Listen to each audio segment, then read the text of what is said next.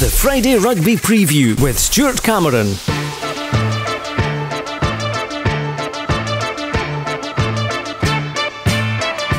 Hello and welcome to the first Friday rugby preview of the season on Rugby Radio, where we look ahead to the club season in Scotland from a borders perspective. And in the show, I'm joined by Dale Clancy as we look ahead to a very busy weekend of rugby. Plenty going on, as you can imagine. And Dale, it doesn't seem all that long ago that we were we were covering last season's events. Yeah, it just seems it was a, a, few weeks ago that we were watching Hawick you know, clinch the double at Murrayfield, and then we had the seven seasons to kind of finish the the year, and we've already obviously had a couple of sevens tournaments as well. So it's great to see you know rugby back. The, the season's upon us. The restructured leagues. There's going to be new shapes to all the squads and all the teams. So you know another exciting season ahead of us. Well, let's start with the Premiership. It's uh, the Scottish champions and Bill McLaren Shield holders Hawick who are at home to Glasgow Hawks, and it was Hawks who last beat the Greens uh, at Mansfield Park, going all the way back to I think October 2019. That's almost four years yeah, you know, it's it's a difficult first game. It's always hard to predict how this how the teams are going to come out of the traps in the first game. Hawick over the last couple of seasons, you know, albeit their success last year, notoriously quite bad. It's slow starting. Uh, two years in a row, they've you know they've not really hit the ground running at the start, and that's such a difficult game to play. Uh, Hawks at home. Hawick have been able to kind of maintain most of their squad. The likes the big hitters, like so Jay Linton, uh, remained. Ross Graham, they've lost their club captain Matty Carrier, who's went off to pastures new or pastures old, back to Peebles. Uh, but likes of Gary Lowry coming back in as well in the back row, showed up well in the sevens, and he'll bring a lot of experience into there as well to help you know bring on those younger players. So it's going to be an interesting make-up to see you know who's going to be starting in those jerseys for for both sides, not just Hawick, but obviously for Glasgow Hawks as well. We've mentioned, uh, of course, Andrew Mitchell many a time, and we always feel that uh, people like the, the South African uh, and, of course, Ethan Riley, as soon as they're playing alongside him, that brings out the best in him. Yeah, Wayne Grebenhau was the, the you know the, the, the centre that you're kind of mentioning there, and he was brilliant. He was a, a really really good player who helped mould Andrew initially. I feel, but Ethan Riley was in recruitment. Sometimes when you bring foreign players to your club, it's sometimes hit or miss. Ethan Riley and Andrew Mitchell gelled so so well. It has been interesting seeing the the squads in pre-season because Charlie Welsh has been in at 13. Quite liked Charlie Welsh when he first came into the squad. You know, he made his debut against Jed in the Cup. His balance of running's really good. He's obviously raw, and I think Andrew Mitchell now then steps up to that leadership role. You know, starts to nurture him, and that could be a, a centre partnership, which is, is really good. Well, let's hear from Andrew Mitchell. We had a, a little chat with him um, just the other day, and this is what he had to say we get on with the coaches well. They listen to what we've got to say and take it on board. Absolutely. So, who are the ins and outs uh, at Hawick this season? Lee's back, Gary Lowry's back, Sean Goodfellow's back, and signed Fraser Anderson for Selkirk. Obviously, I think Ethan and Matty Curry are the only two to leave, so retained the same squad. So there's no reason why we shouldn't compete for both cup and league again. There will be some disappointed boys every week, but it's just the competition and the way it goes. It brings you the best in training and it gets players firing on a Saturday, which is what you want. Last season, you went all through the season unbeaten. Uh, there was that uh, dodgy playoff final uh, at the end, which you finally got over the line. Uh, I think a lot of people have been very upset if the result had gone the other way. The playoff system, though, is back, so you have to embrace it, obviously. But do you like it? I think if you finish top, you should just win the league because that's how most leagues work. But it gives extra games. But obviously, when you seen like us in the final, we weren't at our best and just we lost the league, even though over the calendar year we were uh, the best side. Obviously, not losing a game, so would say I'd rather just have top wins league and that's that, and get into the cup stuff. What about the pressure on the boys this year? Because you're Scottish champions, first time for a long, long time, people will be looking at you know shooting you down. And first up, it's Glasgow Hawks, the last team to beat you here at Mansfield Park. So there's a nice story bubbling up here, isn't there? Every team we play now, they're going to obviously bring you that bit more because we never lost last year and we've won the league in the cup double, so we have a target on our back. So we're not going to be able to start slowing any games or slip up. And I mentioned it earlier on as well. This is your 150th anniversary season, so everyone at the club will want to have a good season to commemorate that. Aye. Oh uh, well, obviously, aye. It would be fantastic to win the league and cup again, or even one of them on the 150th year to make it a year to remember. Even though it probably will be with some of the stuff they'll have planned, I'd imagine. But it's exciting.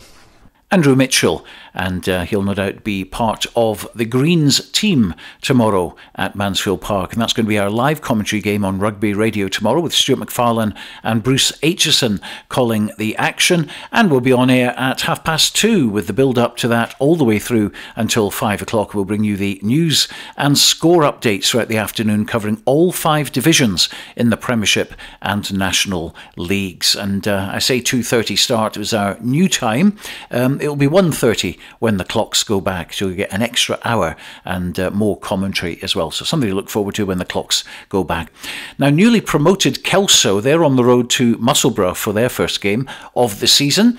They've started off well with two Sevens tournament wins to top the Kings of the Sevens table and also a good win over Peebles in the Border League. Their captain again this season is Frankie Robson we really want to just have a go at as many teams as we can. We think we're uh, we think we're capable of getting some big wins. Um, we're not silly enough to think that's going to come against away away at Hawick or away at Currie or anything like that. But we're uh, we're really keen to put our best foot forward every single week. So I think that should stand in pretty good stead.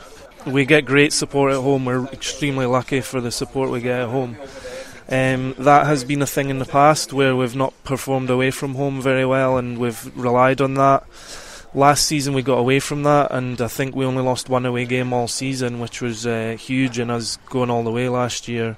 Um, I hope that we don't go back to old habits and uh, fall away away from home, but definitely the pointer support is uh, massive to us. Yeah, we've gained one or two, but not no massive big signings or anything. We've just got a really good core group of boys that um, all stick in for each other, and it's uh, makes for a makes for a pretty good team. But again, at the same time, the young lads are fearless, aren't they? So um, they don't even know they don't know when to stop sometimes. So they're fine.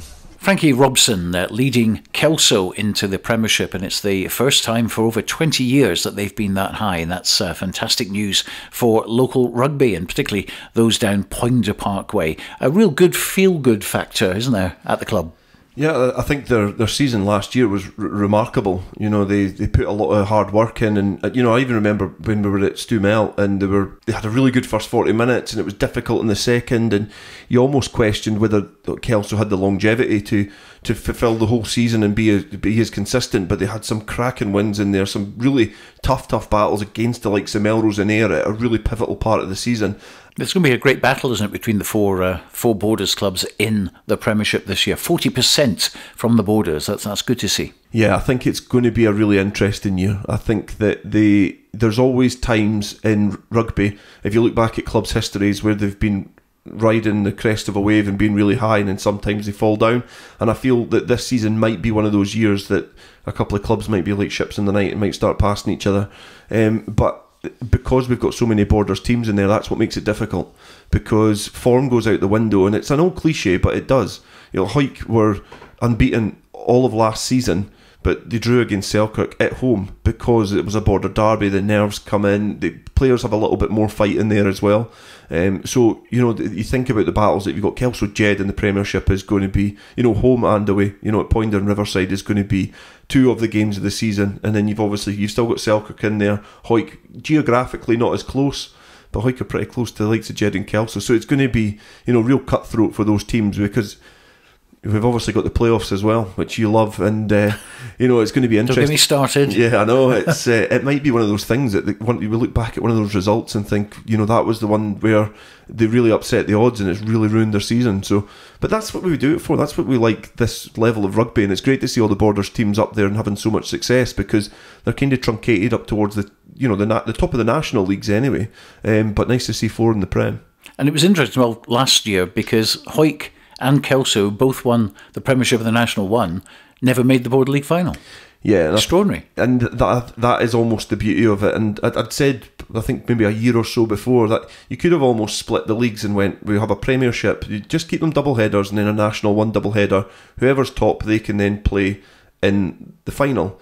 And what would have happened the year before as well is the team that finished higher in the table wasn't actually the team that got to the Border League final, and it was exactly the same. You know, Selkirk obviously victors picking up the, the Border League against Melrose, and it was uh, you know two teams that never got promoted, weren't high in their in their league tables in the end compared to the other border league teams. It was it was great because it means that the honours were shared about almost. Well, on to Selkirk, who have had uh, a bit of a difficult pre-season so far, conceding over 50 points at home to Biggar from National One, and it won't get any easier tomorrow when they host Currie. How much should we read into that scoreline? I think quite a bit because it's your last hit out before you play in your first league encounter. And the reason I say that is because I was uh, speaking to Craig Borthwick before that game, and he was saying that Biggar wanted to get their rugby into their players, their starting team ahead of the campaign. Now they've obviously got a lot of good players at Hartree Mill as well, so you know they've went out all guns blazing. Whether Selkirk, because there wasn't a twos game at the same time, whether they've balanced their squad, that might be the case, but they still don't have players that have been you know, that you're coming going into your first game against Currie, who I probably heavily fancy to be there or thereabouts at the end of the Premiership season. They've maybe not had full 80 minutes. They've had training and that build up, and then maybe be, the partnerships have maybe been maybe broken up because of that game. I think you can look a lot into it. I might be sitting here completely wrong next week, but it's a that's a big gamble to have before you're going to be playing one of the teams that are going to be coming out wanting. You think about the way that Currie lost the Premiership last year they're coming out all guns blazing, want to make amends, and they'll be wanting to obviously put in a performance after the back of what's happened in the last few weeks as well. They've got a lot, a lot of incentive to come out and put in a performance on Saturday. But there's a lot of young players coming through as well. I know there's a lot of hope on likes of Cameron Eason coming through. Got good run out in the sevens. He played really, really well in the cup tie at Ayr as well. Um, so you know he's kind of new to senior rugby, but there'll be a lot of responsibility put into him as well if he, you know, is, is given a starting place at the weekend. So, you know, he's a talented young player, and that's kind of what they need. And they've got a new captain as well. Let's hear from him now, Scott McClimont. Before Christmas time, you'd think we were guaranteed to finish top four, but yeah, after the new year, maybe squad depth, and we maybe were a wee bit complacent in some of those games. We probably should have won, but it's just the way it goes. It's always tough in the Premiership. There's no easy games boys probably had less pressure when on the way days, and then when we were at home, we maybe tried to overthink things too much instead of just playing rugby. We were training up against Gala on Tuesday night, which was quite good. It was good of them to come down to Selkirk, and yeah, we were just running set plays against each other, and I think it really benefited both clubs. And you don't want to go back the way. We need to maintain our place in the Premiership. I think that's a big thing Selkirk has going for it, and we've got a great clubhouse and great facilities, and again, Selkirk belongs in the Premiership. Scott McClimont, the new captain of Selkirk. Now, our other side in the Premiership, and remember we have 40% representation from the borders in the top division, is Jed-Forest. Andrew Brown has gone from the club, with Kevin Barry currently overseeing things, and Kevin certainly knows his way around Riverside Park. And, um, well, they, they have Edinburgh Accies at home first off. Yeah, and Edinburgh Accies are another solid team, got a lot of good players, uh, been consistent over the last few years but there's been some great games between them, both of them at Riverside Park over the last couple of years. But uh, you know, I'm not I'm not going to speak about Jed-Forest in terms of what I don't know. Um, but what I do know is obviously there's there's a change in man, like a, a change in leadership there, a change in coach. Um, I thought Andrew Brown did a great job last year. Uh, they were able to put in some really good performances, bring a lot of good young players through as well. Which towards the end of the season, they were they were season campaigners, really really good, performing at a really high level, and they finished comfortably. You know they were safe by some margin at the end of the season. We'll know more of the lie of the land after Saturday, but they need to pick up home wins. If they pick up their home wins, then they, you know they'll, they'll be comfortable in the in mid table. Well, I spoke with uh, Clark Skeldon. He's captain again this season, and he filled me in on what has been going on pre-season down at the club. So obviously uh, Andy Brown's moved on. Um, I'm not really too sure to comment on that, but um, we've got Kev Barry back. He's uh, kind of overseeing things just now with the help of Ross Goody and Yid Scott, which is good to see them back down. Um, and on the forward side you've got Neil Cook and David Grieve. So between them five, you know, there's, there's a lot of experience there. Again, all want the best for the club. So then you're getting good coaching. Hopefully that entices a lot of younger boys to come down and um, it helps bring us on. And even some of the older youngs, can you're learning every week. Ken Kev Barry's like. He's full of rugby, um, loves it. So, nah, it's good. There's been a lot of younger boys, probably more new faces this year than there has been in past years. So it's good to see all of them. Um, young Mark Glenn stepping up for the Thistle. He was captain there last year. Um, he's getting a chance in the first this year. So it'll be good to see how some of the boys go and, and test themselves in the Premiership and Can kind of the passing of the old guard. There's a lot of older boys moved on, having families, stuff like that. So, know, these young boys are going to get opportunities to play every week and, and pull the jersey on, and it's pretty much a case of send them out there, see what they can do, and they're only going to get uh, get better. So, who aren't we going to see at Riverside Park this uh, season? I'd never say never to the majority of them, but um, you know, the likes of Calm Young, Robbie Houston, uh, they've gone away to Australia. Finn Scott um, is in New Zealand. So you you'll not be seeing them, but as to the rest of them, I think you know who I'm on about.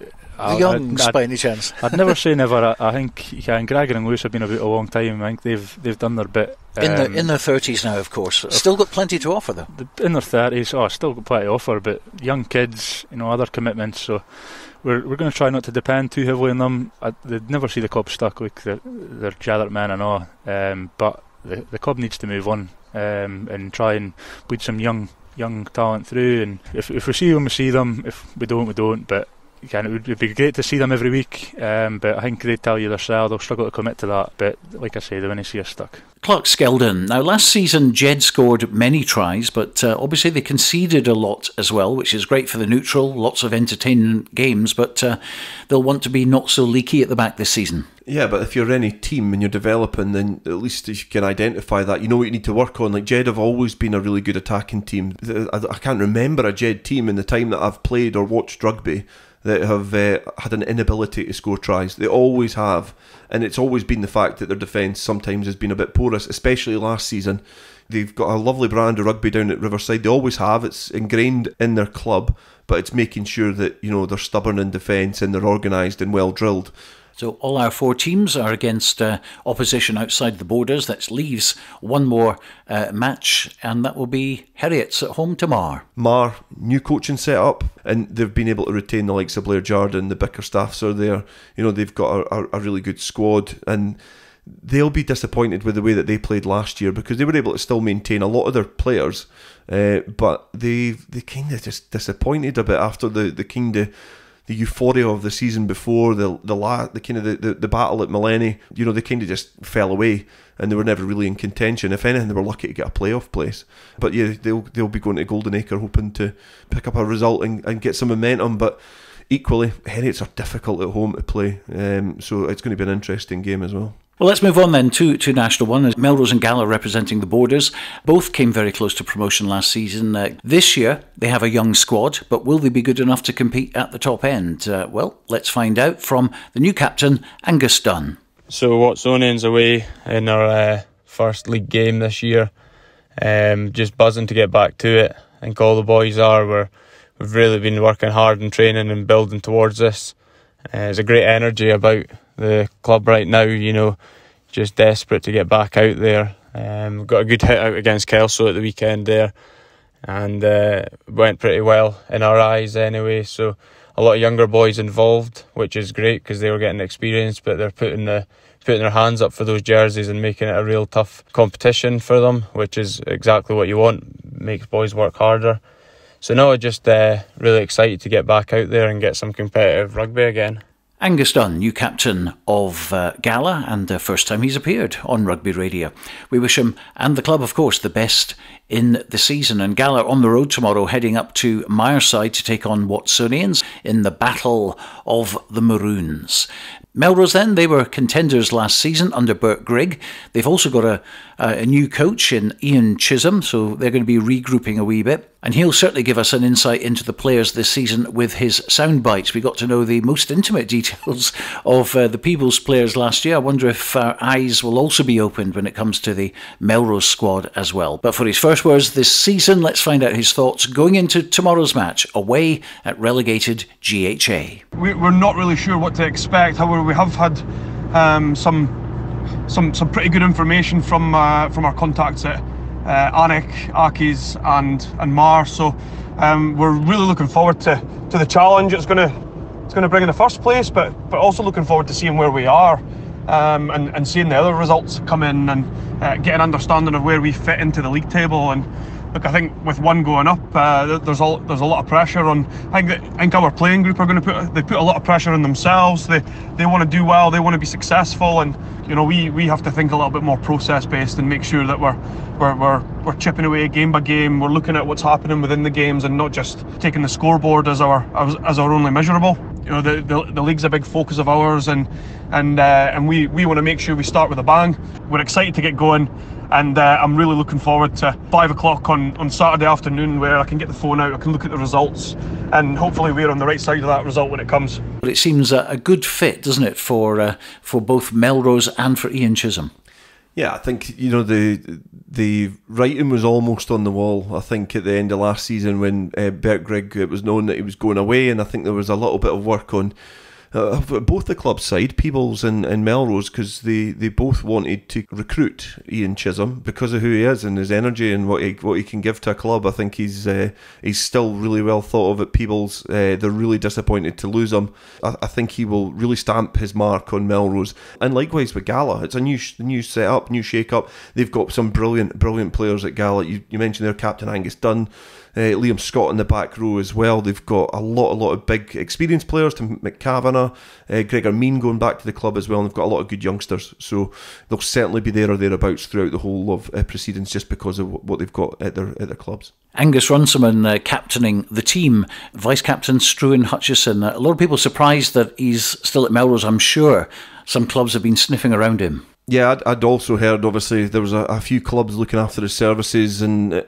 I I was I just thought he was he was brilliant last year. It's, it's more interesting I think when you see players go down levels when you can really see their class. So with that in mind, Ian Chisholm's, you know, he's, he's fortunate that he's got a playmaker like Struan Hutchison still at the Greenyards, and uh, you know he'll be wanting to try and get him ticking and get them on the front foot to, to try and get out the division. Switching to National Two, and Berwick survived the five-team brutal trapdoor last season in their first venture into the division for many years because they had issues getting results on the road. That was the main main problem with them. But they're very hard to beat at Scremerston, so should pick up points there again this season. Only one going down this season though, which will be a relief after the league reconstruction, but head coach Colin Young will be hoping his team are nowhere near the relegation zone this season. Disappointing we've lost some players, but we always will wish them best of luck. But back to us, we've um, with them, with them people leaving, uh, it opens the doors for others to to really shine and uh, shine. They've done in pre-season. Been really pleased with the boys. Fitness levels are looking quite good. Big forward to Stuart Melville on Saturday. Uh, we want to put a big performance in on Saturday, uh, and with the new laws, I think the the game is speeded up, opened up, and uh, it's a, it's an exciting challenge. Um, as long as it's kind of refereed um, correctly.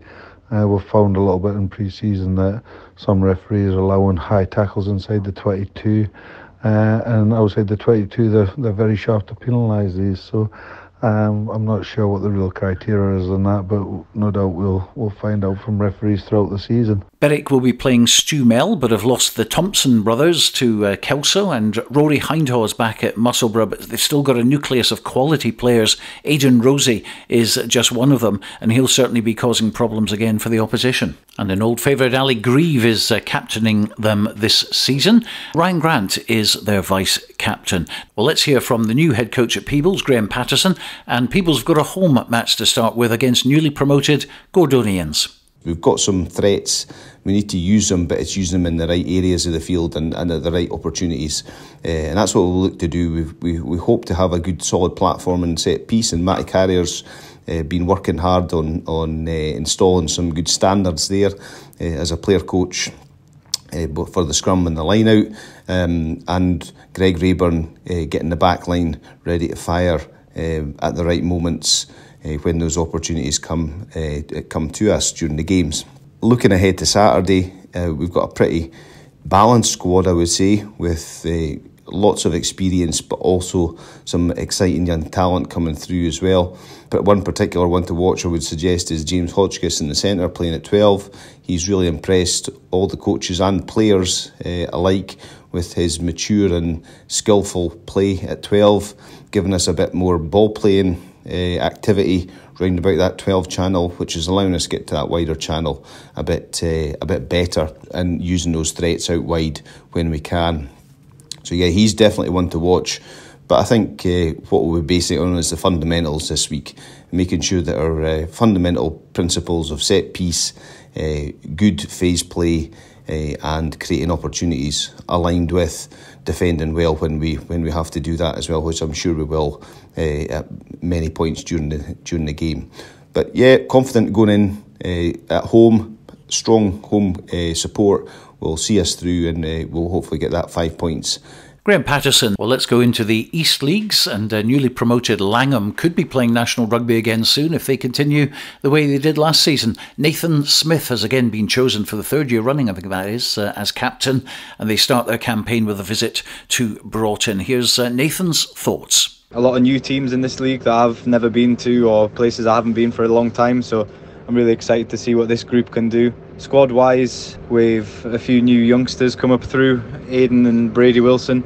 A couple of brothers have made the step up into the into the first team, so excited to see what they can do. Brady in the forwards and Aiden uh, showing plenty of pace in the back. So we had our pre-season game a couple of weeks ago against Annan, and um, these new tackle laws are definitely going to be something new to get used to. But it definitely shows a more open and fast-paced game, so that'll suit us, I'm sure. We've actually also lost a couple of players. Um, Ewan Rose, he was a stalwart in the team last week, uh, last season, played every game and just a constant voice. And Tom Wilson, an enforcer in the forwards, just your general hardy man. Ewan's headed back to Australia and Tom back to New Zealand, so they're big losses. But confident in the youngsters that are coming up through. I'm sure after the first couple of games, we'll know what this league's about.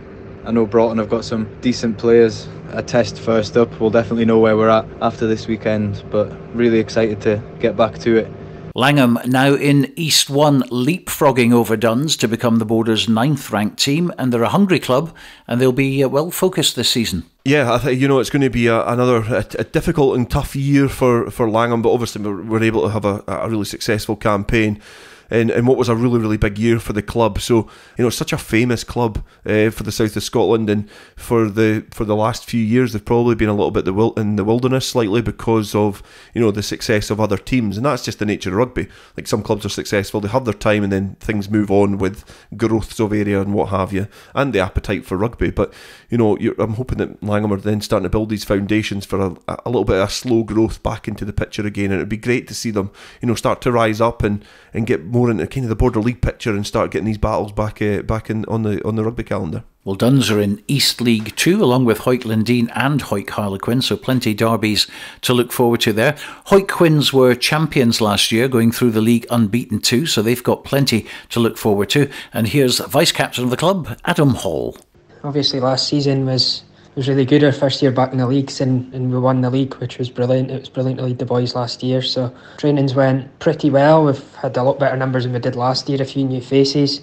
Deke Armstrong's came in as coach and done a good job. He's, he's got his ideas that he's trying to get across to the boys and, and he seems to be doing a good job of that so far. We're going in pretty pretty cold to play Dunbar away this week. Fingers crossed we can get a decent squad together and go up there and, and, and be competitive and see where we stand Adam Hall. Now, Linden have started their pre season in fine fettle with a couple of wins against Gala YM and Earlston from the league below. Their captain this season is Tom Huggin. We've had a really solid pre season, kind of had a lot of boys at training, and they've been good, to- they've been good, tough quality sessions there. We've had a lot of new boys, we've had 20, 25 players at training, which is very good considering last season, you know, there wasn't many training at all. But that just shows you like what's changed this year. There's a big boost in confidence. There's a big change to attitude at training as well. You can we're coming, we're switched on. There's been a lot of tough sessions. There's been a lot of physical sessions. But that just proves that it's all for a purpose because, as you can see in our two pre-season games, two wins from two, looking very positive going into Saturday against Livingston. Livingston are a very tough side, but Earlston and Galloway were tough games for us. There's just got to be a big change this year. I can already tell. The boys' spirits are high. My spirits are high. The coaches' spirits are high. We've, we've been working hard and I think it's time to prove it. The boys are just really looking forward to it and just can't wait to get started. Tom Huggin, Hawick Linden, uh, looking to do better this season. Well, in East League 3, Gala YM and Earlston are the Borders teams involved, as they were last season in that division. We spoke with Earlston captain Ali Sesford. You know, we went on a tour to Berlin over the summer. You know, it was a real bonding experience for the full squad, and we really took that that closeness into pre-season. that's really helped actually get some cohesion around quite a large portion of the squad. It's always good to play against uh, opposition in a higher league. You know, it really tests uh, our structure, how we're actually going to play. You know, if you're playing against better opposition, they're going to expose where your weak weaknesses are, and that's really something that we can then go into the next week training, really focus on where we're weak, so that when actual league starts, uh, we're we're up and running and uh, we're hopefully firing on all cylinders. Obviously, going from pre-season, the way we've been working, the numbers we've been getting, we truly think that we can challenge for for that top spot. So it's like definitely going into it. The goal is lifting that trophy at the end of the year. Where that comes to be, it all do, really depends on the boys' commitments. But from what I've seen uh, in the in the past weeks, the commitment's there. So we should hopefully be uh, up there in, at the end of the season. Ali Cessford leading Earlston this season. Well, of course, we can't wait to get started bringing you coverage every Saturday live on Rugby Radio from half past two. We'll be at Hawick for their home match against Glasgow Hawks. We'll have TV highlights of that game and also Jed-Forests against Edinburgh Accies over the weekend. And don't forget to check out our new Scottish Club Rugby podcast, which is now out. There's a new website at rugbyradio.co.uk, as well as our main site for everything to do with Borders Rugby at bordersrugby.net. You will be spoiled spoilt for choice. Do check it all out, and we'll see you on Rugby Radio tomorrow at half past two. But for now, from Dale and myself, a very good night.